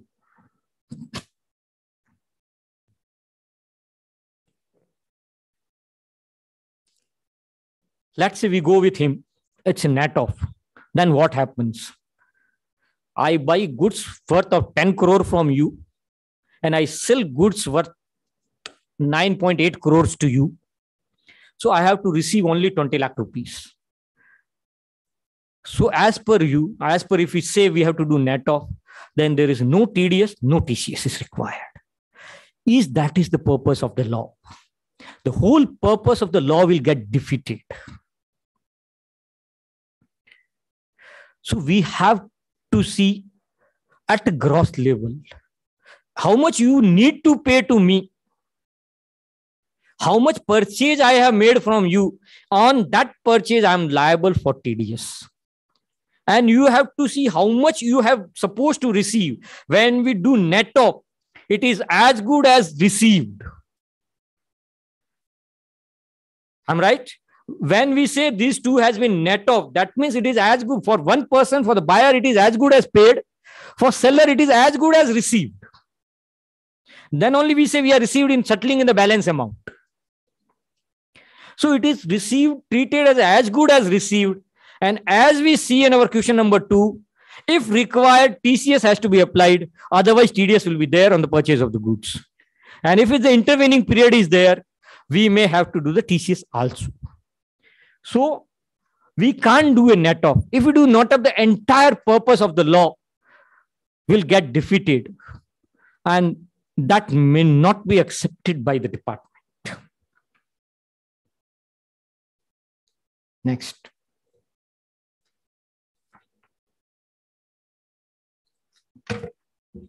Can TCS be charged in the bill? As we already discussed, in my opinion, TCS cannot be charged in the bill because it is the collection. Only at the time of the collection, you are supposed to collect the tax. Otherwise, you may miss out somewhere. As I said, intervening period, you may miss out this. One. Two, if you have old outstanding balance, when the provision itself was not there, if you start charging in the bill, you may miss out that outstanding. We have suggested at that time that on 30th September 2022, uh, sorry, 2020, whatever outstanding balance is there in the book of the buyer, re- receivable is there in the book, you issue a debit note and say on this TCS has to be receivable, old payment. And as and when you receives, you say you have received along with the TCS and pay that portion and balance you apportion towards the sale of goods. But many business houses or the large company said, no, it is not possible. Everybody has to put into the bill only. Our ERP system doesn't allow us to process the debit note unless it is in the bill. We cannot make the payments. So there are a lot of practical problem was there. And based on those practical problem, many people have started putting into the bills. Still, I'll say it is not the right way to look into it. It is only at the time of the collection. So what happens if no collection happens? It become bad debt. There could be a situation you doesn't receive the payment at all. There is a sales return or the purchase return. What happens if already put into the bill? So it is always advisable to have it at the time of the collection and not in the bill. Next.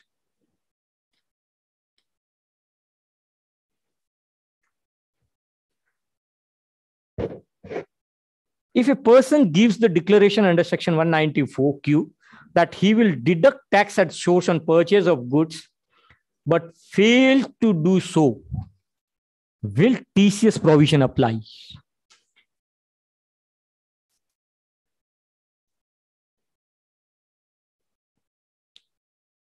So we have seen in 194Q, it says, if there is a TDS provision, if the person deduct the TDS, there is no requirement of the TCS.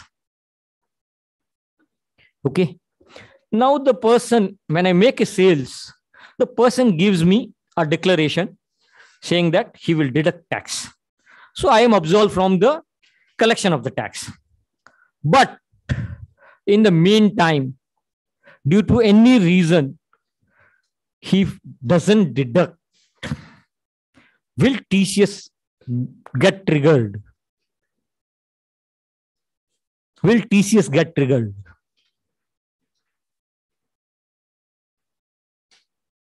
Yes? Sir says yes, you says no. He has given declaration of doing it, but he failed to do that. Can we go based on the declaration?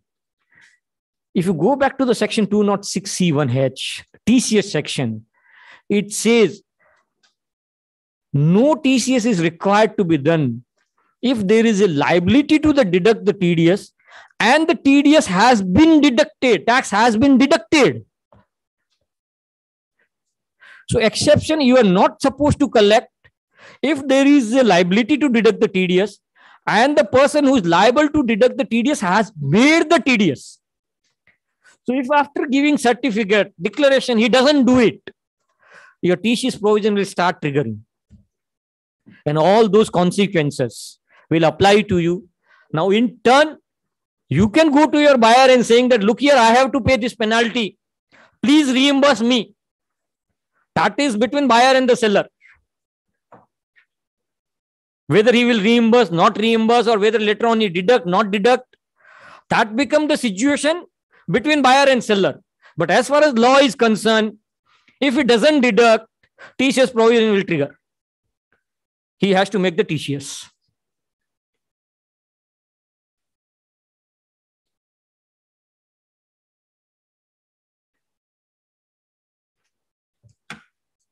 Next.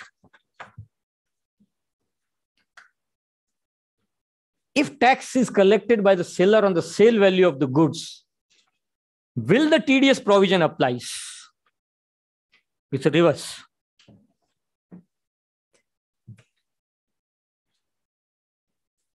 If TDS is collected, TCS doesn't apply.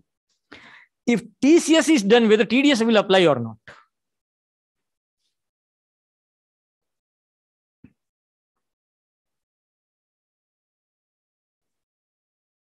We'll have a couple of more meetings. We have a couple of more issues. Then I can leave it open. So the TDS law says TCS under section 206C1 is not applicable. The moment TDS become applicable, we have seen if it doesn't deduct, TCS will trigger. But TCS law doesn't say if, uh, sorry, that is TCS law says if TDS is deducted, TCS will not apply. But TDS law doesn't say if TCS is done, TDS is not applicable. So in all the circumstances, TDS law is applicable. Irrespective of whether T- TCS has been done in the done or not. Now look at a situation TCS is already done in the bill. He has to do TDS also. It become double. On the same transaction, it become double. What issues we have seen earlier on the two different transaction, either there is a TDS or TCS. But it happens on the same transaction. It become twice. So we have a circular number 13 which give a clarification which says if TCS is already done, if tax is already collected on a particular transaction before buyer can deduct the tax, there is a rider on that. It says before buyer can deduct. So, for example, as we were discussing, many people put into the bill. So, before bill reaches to the buyer, seller has already applied TCS. He has already put into the bill. So that TCS is already applied.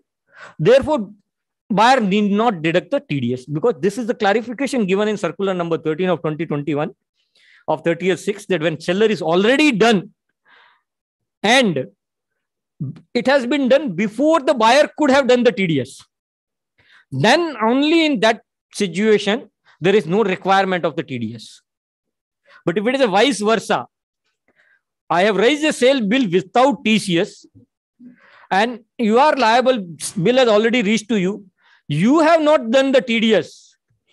Therefore, I am doing the TCS as we seen in the last issues. In that scenario, you are not absolved from the TDS liability. Only in the scenario when the TCS is first done, before the buyer could have deducted the TDS, then only you have an exception, which is given through circular number 23. Next issues, whether tax is to be deducted on advance payment. As we have already discussed, yes, tax need to be deducted on the advance payment. Here the issue arises. We have seen through the circular that we don't have to include tax figure, GST figure while deducting the TDS. There is no, there is clarification which says you need to deduct tax only on the goods value, not on the TCS or sorry, GST, if it is mentioned separately in the bill. If bill is a consolidated bill, you need to deduct on the whole amount.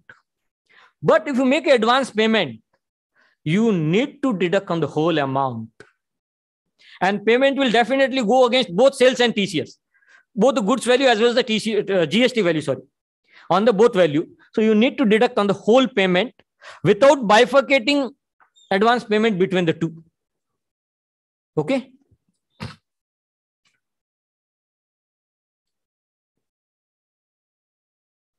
Now go back to the 194R, what we dis discussed the perquisite or the benefit where you need to deduct the TDS. How to determine the value of the benefit of the perquisites when same is in kind or in the absence of any valuation rules.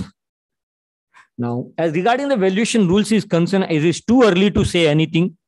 We don't know before the, it become applicable on 1st July 2000, 2022 there may some clarification, some circular may comes, what we have seen in case of the other TDS provisions.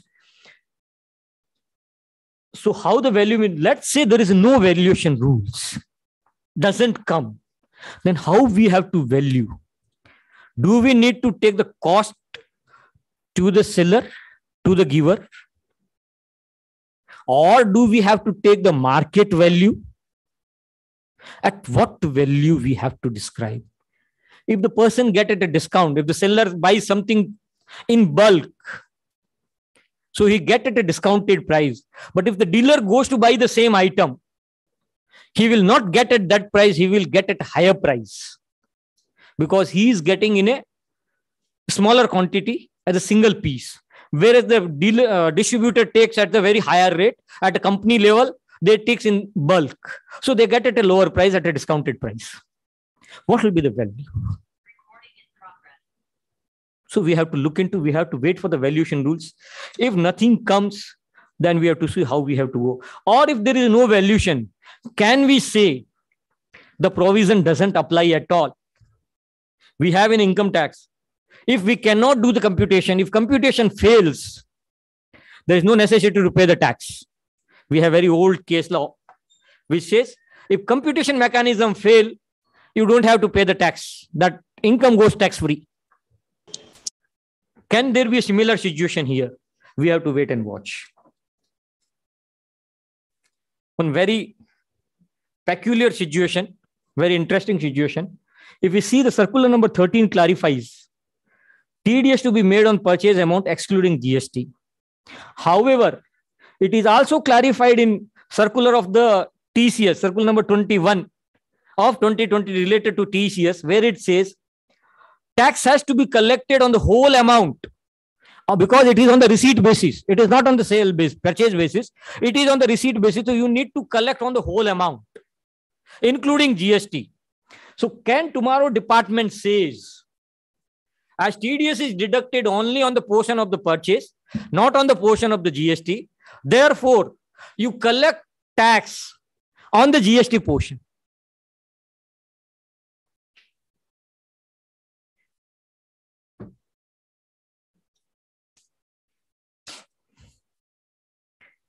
So on the same transaction, both TDS and TCS. Earlier we have seen on the different transactions. Now we are seeing on the same transaction.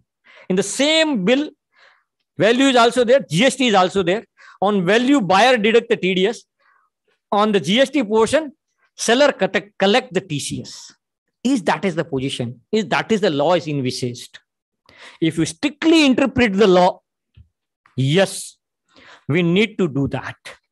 But when a clarification says that you don't have to deduct on TD uh, on GST portion, we one has to assume that there is no requirement of TCS also on that because the exemption is given by the circular by the department itself not to deduct TDS on GST portion. Then why there is a TCS?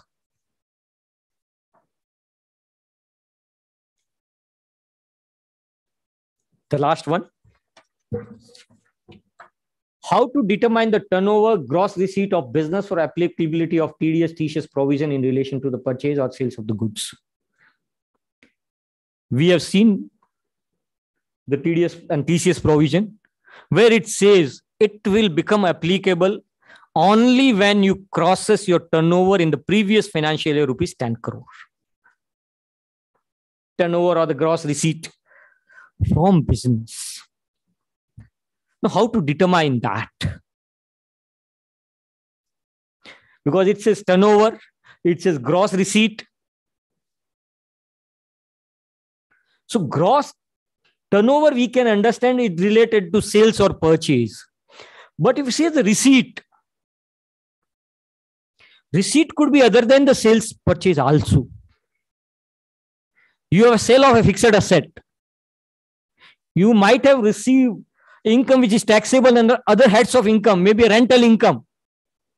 If you take a company point of view, if maybe individual might take that other receipt not at a part of the profit and loss account, can take in capital account or in his own account the outside the business books. But to look at the firm's point of view, or the company point of view, where entire receipt goes into the profit and loss account only. It doesn't go outside the profit and loss account. So if I look at the gross receipt, will I have to include that rental income? Will I have to include the consideration received on the sale of the shares, sale of the investment, sale of capital assets to determine my 10 crore rupees turnover?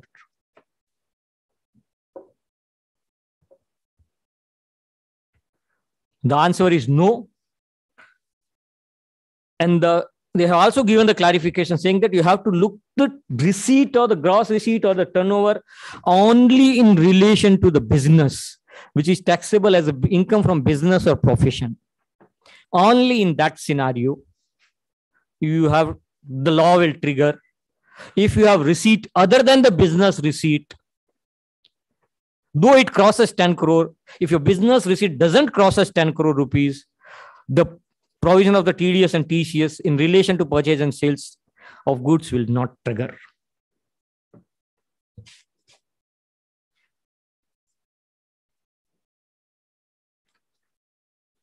Thank you, friends, for giving me a very patient hearing. I have tried my best to clarify whatever issues you have. Now it's open to all of you. If you have any queries, it's most welcome.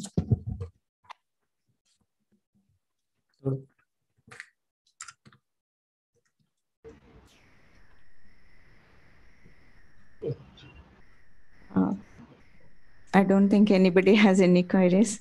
So thank you very much, sir, on behalf of FKCCI and office bearers uh, for giving a Yeah. wonderful presentation and uh, Madam, one small query is there. Yeah. Uh, this, uh, oh, on- hello, Uh, yes, sir. normally, uh, normally we have to take declaration on one eighty-four Q. Mike. Yes, sir. Yes, sir. Please tell me. One eighty-four Q declaration we have to take from, hello, Yes, yes, sir. I'm hearing. see, one eighty-four Q declaration we have to take. Okay. I- If you take it every year, see, because uh, when the project started in first July last year, we have taken a declaration Correct. that we have filed return for the previous two years. And, uh, and we have also given a acknowledgement of the ITR return filed, all those things, correct? Okay. So should we take that declaration every year or uh, how? See, as far as this is not applicable only to 194Q, as far as filing of the written declaration is concerned, this is applicable to the all the TDS and TCS provision. First, second, yes, you need to see every year, year on year basis, whether the the deductee or the person who is supposed to receive the payment has filed his or her return of income. Uh, I would rather say instead of taking the declaration, it is it will be available on the portal. It's better you verify on the portal that the person has filed his return because some people may give the declaration saying that this is the acknowledgement number and the date of filing, but how far that become correct, we have to see. So it will be the detail will be put on the portal by the department. Hmm. You can cross verify that by putting hmm. logging into the department website and then put in the PAN of the person. A window will pop up saying that yes, whether he is a specified person or not.